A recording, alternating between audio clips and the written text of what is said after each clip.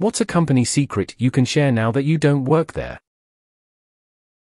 The secret ingredient of Jimmy John's tuna salad is soy sauce. In the United States, one company's bread and butter was simply reboxing and relabeling computer monitors from China to make it seem like they were from the company and made assembled in some way by them. Worked in insurance, hundreds of people have access to your SSN with no security clearance or background check. Worked at a major cable ISP and therefore billing cycles. They upgraded the billing system, but did something wrong, and all but the current cycle got a late charge. But instead of fixing it immediately, we were told to credit their account if the customer called in. I did the math, and for the size of our city, and the 3-4 of people wrongly charged, it was over a million USD. Most people just pay their bill and don't look to close. At a major insurance company I wrote software for was very big on security. If we needed to make an update, we weren't allowed to remote into the server even though you physically could, it was just against policy. To make an update, you had to put your changes onto portable storage, show your ID to the security guy, use your key to open the door, get escorted to the server, then they'd observe you via cameras. The login? Admin the password? Blank. Literally no password. I worked for a large construction company, and the sales guys would intentionally omit items from contracts because they received incentives for what would then become a change order. Me you forgot to include any framing in this contract. Sales weasel oh, I guess it's a change order then. Customer cries. Maple sap can be trucked in from other states and where it's turned from sap to syrup decides on the state it comes from, not the location of the trees. If you don't hear music when you're supposedly on hold, the operator simply muted their MIC and can still hear you. I've heard interesting and damning things while they thought I couldn't hear them. Ice manufacturing My shift manager dropped a 7 gram bag of weed in a bag of ice. It went out for delivery. No one ever phoned in to complain though. Arby's manager replaced the expiration stickers on the bread with new ones. I guess so the bread would last longer that way. I threw out 100 pitters with green fuzz on them after checking the manager's work. The difference between the high-quality deli meat sold at MS and the regular deli meat sold in other grocery stores is that we changed the label. We would literally stop the production line, wait for the guy who ran the label machine to swap them out and then start it back up again. One of our best restaurant in my town is locally famous and everyone goes there. They say everything is homemade. The thing they are famous for is the hot beef sandwiches, with homemade potatoes and gravy, and the fish fry. The fish fry they also have during the week listed as an intrigue called the cod platter. It is instant Sysco brown gravy mix and instant Sysco mashed potatoes, the cod is only fresh and fried on Fridays. If you order it during the week it is frozen breaded Sysco fish fillets aka a blend of random fish shaped into a stick. Skull.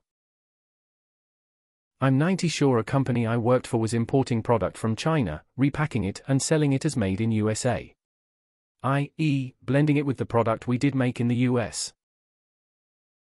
Buses due for MOT a certificate of roadworthiness in the UK would have their faulty parts switched out from a working part from another bus then swapped back afterwards. Common practice. Also, I'm no germophobe but there's no way in hell I'd eat on public transport. They really aren't clean. Everyone's favorite sauce that people wanted the recipe for was mostly mayonnaise. Sure it was called creamy pineapple sauce, but it's just pineapple salsa and mayonnaise. Ice machines are disgusting inside, full of slime. Hotels do not typically have security, maintenance, or housekeeping on staff 24 7. Once housekeeping finishes cleaning all the rooms, the entire staff leaves except for one front desk employee. Worked at an ISP, we lied to customers daily about speeds and delivery times, we sold internet in stations we knew were full, and DSL is just garbage don't had a single customer in 7 years who actually got the speed, we burned out rates in support was three months before people you tried to actually help customers you got chewed out and was a problem. Your luggage at an airport isn't really handled with care. We sometimes made up letters to the editor. The drawing to win two free weeks of Sparkle diaper service is fixed. If the name on the entry is eligible isn't currently a customer, and hasn't been a customer in the last year it wins. I've worked at Petco and PetSmart and both are pretty terrible. I was a groomer so I had things like benefits, but the amount of people who would try to hide injuries to a pet was shameful, including upper management. They are mostly groomers trained by groomers trained by Petco and PetSmart. If you want a mass-produced grooms by people who hardly care then it's fine to go there. But in my experience at least in a big city they care less than other groomers. It's also lucky if you get half the services you paid for, and none of them work like they claim. I used to work at a chain of local goods stores in Washington, a lot of the products were not fully local or even half.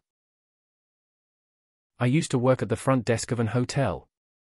More often than not if we tell you we're fully booked when you try to make a reservation, we actually are. Butte. Sometimes it's just bullshit we make up because we got a bad vibe from you. We get blamed if we accept a booking from a person who then trashed the room, or was just all around annoying rude to the staff. It's not all hotels I worked at that do this, but some do. I used to work as a consultant and I would get billed out to multiple clients at once. Work in IT. Everyone pretty much openly admitted our software was held together by the digital equivalent of duct tape and chicken wire. Used to work at a graphic design firm. All our Adobe software was pirated. Not me, but a friend.